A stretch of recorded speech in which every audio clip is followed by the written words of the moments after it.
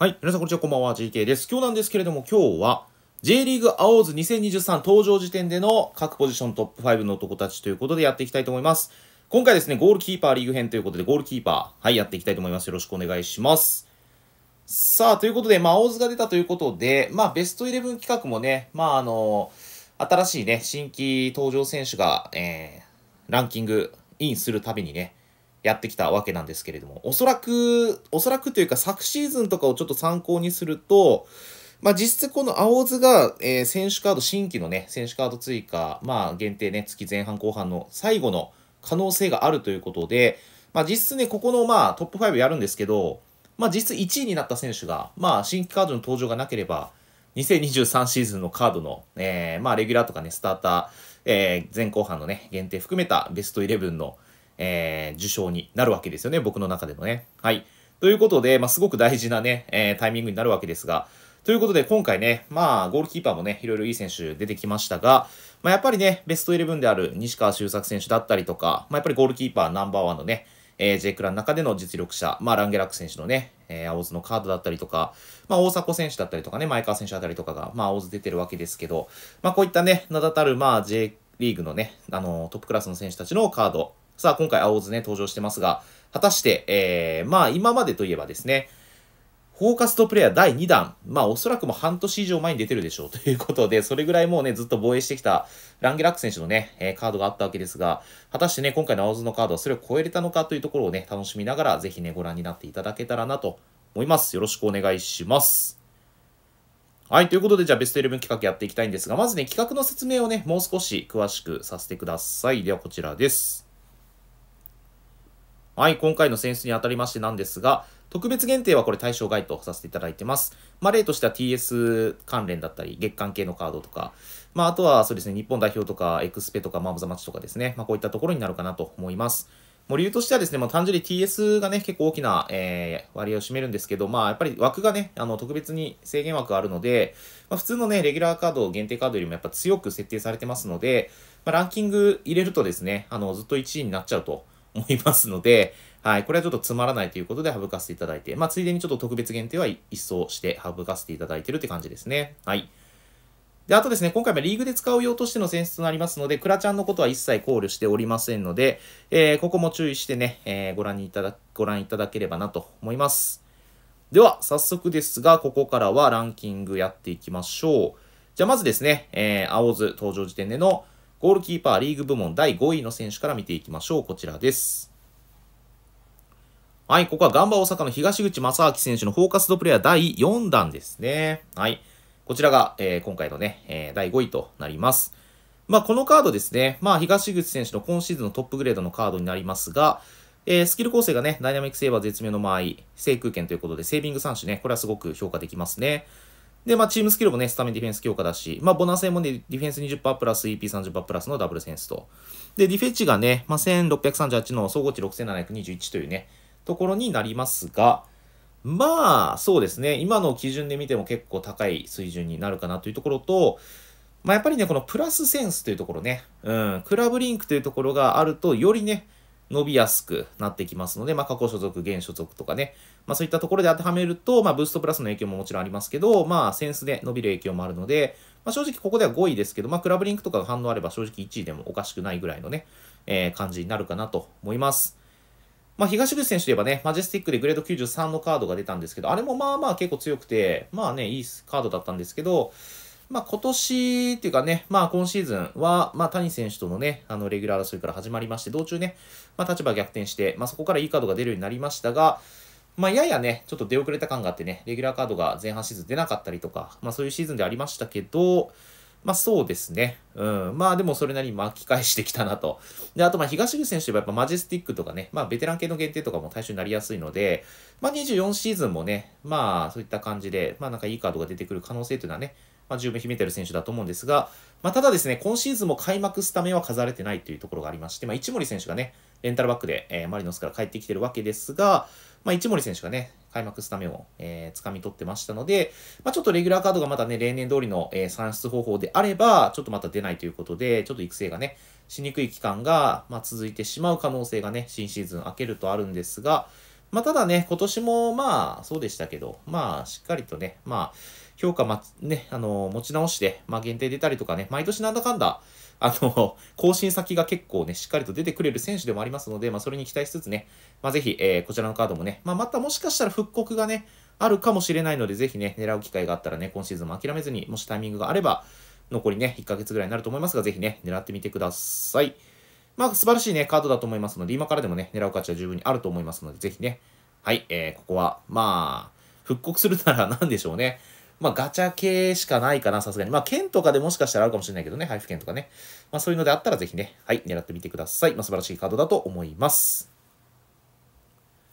はい、じゃあ続きまして、ゴールキーパーリーグ部門第4位のカード見ていきましょう。こちらです。はい、ここ、ザスパ草津群馬の串引正俊選手の、え、フォーカスドプレイヤーが第6、えー、ごめんなさい、第8弾かな？うん。8ですね。はい。ということで、第4位になります。まあ、このカードね、まあ、串引選手がね、J2 のね、まあ、草津の選手なんですが、まあ、J2、J1 関係なくね、まあ、フォーカスは結構やっぱりいいカードが出ますからね、グレードも95いけば、まあ、チャンスあるということで、まあ、それを体現したようなね、カードになるかなと思います。で、まあ、良さとしてはね、まあ、スキル構成が、まあ、シュートセーバー、エアフォートレス1対1ということで、ここもセービング3種で、プラス2つ、まあ、すみません、1つですね、エアフォートレスが上位スキルと。うん。まあ、魅力的ですね。はい。で、チームスキルもスタメンディフェンス強化で、まあ、ボナ戦がね、ダブルセンスで、え、ディフェンス20%プラスと、パー15%プラスというね、まあ、ステータスダブルになりましたからね、途中からね、これも恩恵としては大きいかなと思います。で、総合ステータス6630のディフェンチが1636という数値ね。はい。で、パワータイプでパワーも高くて1442ね。うん、これも結構高いですね。もしかしたらパンチングとかの競り合いとかに影響が出たりすると思えば結構大事なステータスかもしれません。はい、ということで、えー、素晴らしくね、いいカードが、まあ、串引選手特にね、後半めちゃくちゃ評価上がりましたからね、まあ、レギュラーのグレードとかもガンと上がりまして、とかね、まあ、そういったところがありましたので、まあ、限定が1枚出て、すごくね、大きい、うん、カードだったかなと思いますし、まあ、比較的ね、まあ、ボリューム2に入ってから出たカードなので、まだ復刻チャンスはあると思うので、ここもまあ、ぜひね、復刻したら、はい、狙ってほしいかなと思います。で、まあ、串引選手は確か開幕スタメン飾ってたんじゃないかな。うん、確かね。飾ってたような気がするので、まあ、レギュラー出てまた85超えるでしょうね。だからまあ、素材としては結構、まあ、もしかしたらね、トップグレードとかだったらさすがにちょっとグレード的に出にくいとかあるかもしれないですけど、まあ、レギュラーカードが出る、出ないというのは結構大きな差なんでね。はい。ということで、まあ、育成環境はね、引き続き、まあ、ある程度は確保されていくということで、まあ、手に入るとね、育てやすいところもあるのかもしれません。ということで、まあ、なかなかね、まあ、この、まあ、J2 の、まあ、トップクラスのゴールキーパーとはいえね、なかなか、まあ、グレード的で言うと、うん、まあ、ここが精一杯みたいなところも正直あったりとかね、するので、まあ、なかなかこれを超えるカードっていうのは、まあ、串引選手が J1 に個人昇格したりとか、まあ、そういったところがない限りはなかなかね、望めないんでね、まあ、そういう意味でも、まあ、貴重なカードになってますので、まあ、ぜひね、復刻していい素材持ってる人は積極的に狙ってみてはいかがかなと思います。はい。じゃあ続きまして、えー、ゴールキーパーリーグ部門第3位の選手見ていきましょう。こちらです。はい。ここ、名古屋グランパスのランゲラック選手のなんとフォーカスプレイ第2弾。はい。ここにランクインしておりますと。いうことで、まあ、大津のカードがね、このカードを抜いていったと、まあ、いうことになりますね。はい。まあ、長らくね、うん、もうトップとして、えー、扱わせていただきましたが、まあ、ちょっとやっぱりね、期間には勝てなかったなと。うん。まあやっぱり青津がね、優遇されてるところもあるんですけど、はい。まあちょっとやっぱりね、ここまで来るとなかなかね、防衛は難しいということで、まあスキル構成的にはね、鉄壁のテリトリー、シュートセーバー、制空権というね、ここも3種しっかりと持ってますし、まあディフェンス20%プラス、EP30% プラスがあるので、まあこれもね、正直プラスが反応あればトップ、まあ別にね、あの、第3位としましたけど、まあ1位も狙えるカードになってるかなと思います。で、総合値は6719のディフェンチが1694ね。高いね。これ高かったね、ほんとね。うん、なかなかこれを超えるカードっていうのは本当に出てこなくて、しかも並ぶぐらいのカードもなかなかゴールキーパーでは出てこなかったですね。やっと青津に来て並ぶか超えるかみたいなところだったので、まあ、すごくね、あの、強烈でしたね。はい。ということで、まあ、スキル的に見ても、まあ、ステータス的に見ても、まあ、ボーナス戦見ても、うん、まあ、本当にトップクラスだし、完璧だと思います。はい。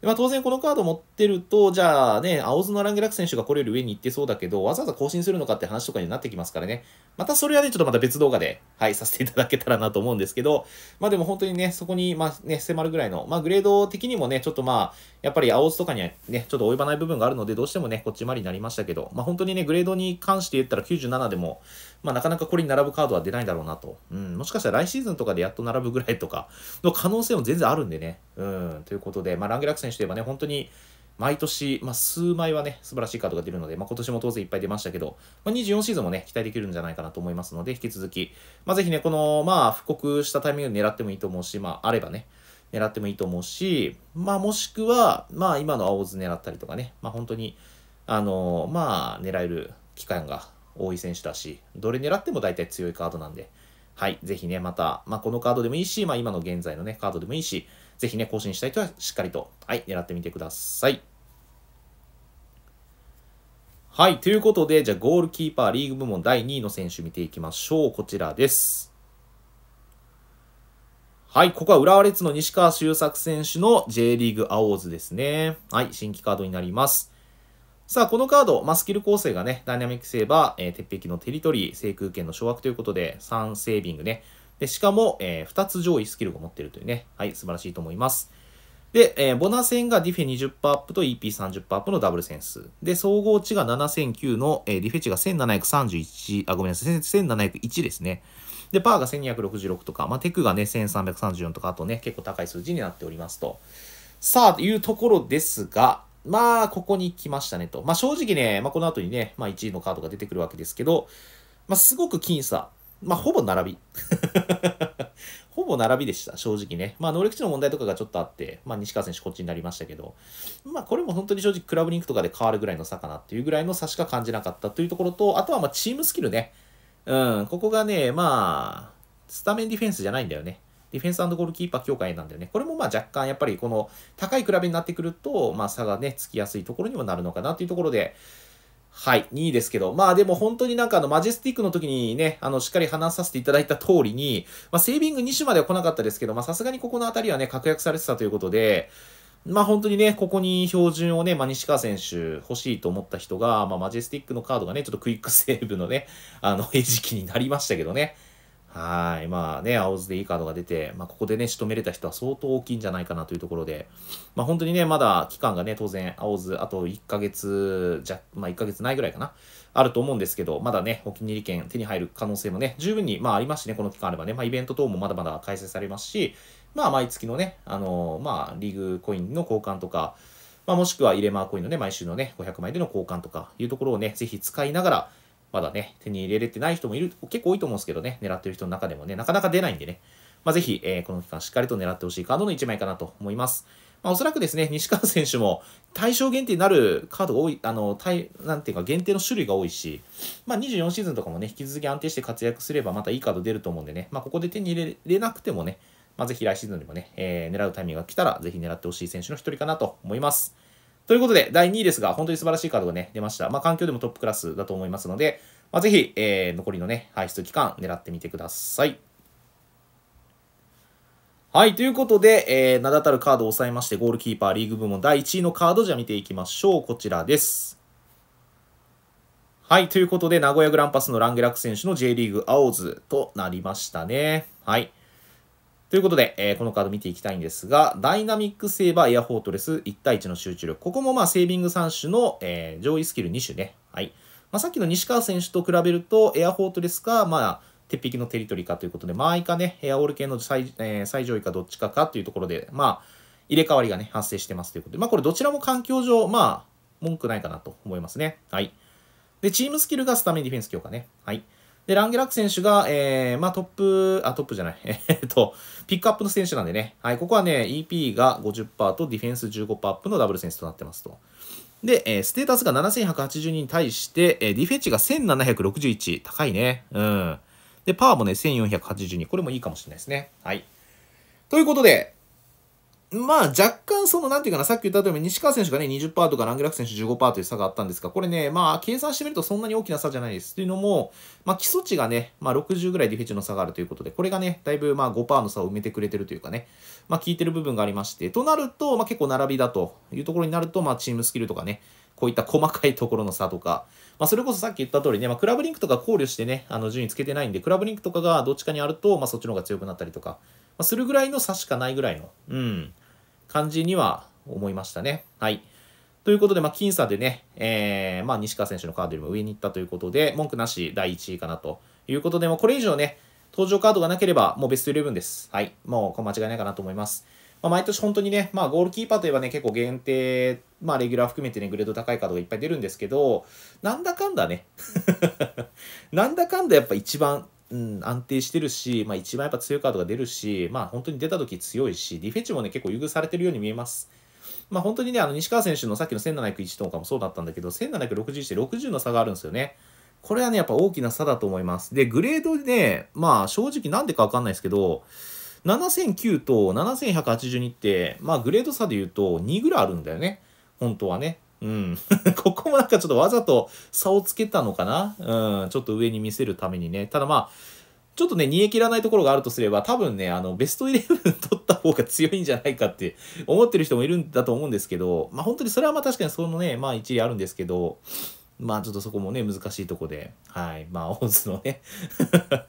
まあグレード1の差というのがね、なかなか、まあ大きく響くのもまあ J クラだし、まあこれを埋めようと思えば埋めれるのも J クラだし、うん、というところで、まあ本当は仕上がり部分含めるとね、まあ当然あの人によっては、両方持ってる人でもね、どっちが強いというのは変わるぐらいの差しかないんで、まあぜひね、その差をより広げるべくね、まあいいカードに仕上げて使ってほしいなと思うし、まあ残りの期間ね、まだまだありますので、まあさっきの西川選手同様ね、お気に入り検討を使って、ぜひ諦めずにね、狙ってほしいなというところと、まあ、当然24シーズンもね、あの、ラングラック選手いいカード出そうな雰囲気、ムンムンしてますので、はい。あの、ここで手に入らなくてもね、諦めずに24シーズンね、ぜひ狙ってほしいなと思います。ということで、はい、文句なし1位だと思います。ということで、素晴らしいカード出ましたので、ぜひね、獲得目指して頑張ってください。はい、ということで、えー、本日ですね、ゴールキーパーリーグ部門ということで、青ズ2023ね、登場時点でのランキングつけさせていただきました。まあ、本当にね、あのー、まあ、上位ワンツーということで、はい、2枚のカードがね、ランクインしましたけど、まあ、青津というのはやっぱりね、まあ、あのー、前から言ってますけど、まあ、言ったら、あの、能力値的な並びとかになるところが、やっと昨、まあ、言ったら来年の年末、まあ、超えて、またトップスカラーとかアシストとか出てきたりとか、まあ、シーズンフォーカスとか出てくると、さすがにこれ以上のカードっていうのは出るんだけど、それまではね、結構優位性に浸れる可能性があります。まあ、こればっかりは、まあ、シーズン更新来た時に何が、あの、差が出るのかっていうのにもよりますけど、まあ、22から23シーズン以降ぐらいのあの、シね、ブーストプラスの差とか、まあ、スキルグレードはぶっちゃけここら辺の選手関係ないからね。というところはありましたから、まあ、そんなに大きなね、えー、追加がなかった分ね、まあ、確かにね、24シーズンに移行するときに、結構大きなものが来てもおかしくないしね、あの、まあ、予想としてはね、僕もね、カスタムセンスとか来るんじゃないかなと思ってるんですけど、カスタムセンスとかが来た時の恩恵っていうのは結構でかいポジションだと思うんで、まあ、新しいカードが有利になる可能性はあるんですけどね、まあ、ぜひ今ね、狙えるべき選手はしっかりと狙っていって、はい、えー、いいゴールキーパー使えばね、まあ、当然アマテラスイとかも有利になっていくし、まあ、当然クラチャの部分でもね、あの EP 乗れば有利になっていくと思いますので、ぜひね、えー、獲得目指して皆さん頑張ってください。ということで、えー、今回ですね、青津登場時点でのベスト11ということで、各ポジショントップ5の男たちということで、ゴールキーパー、リーグ編お送りしました。まあ、よかったらね、あの強さの指標の参考にしてみてください。では、今回の動画は以上になります。ご視聴ありがとうございました。これにで失礼します。バイバイ。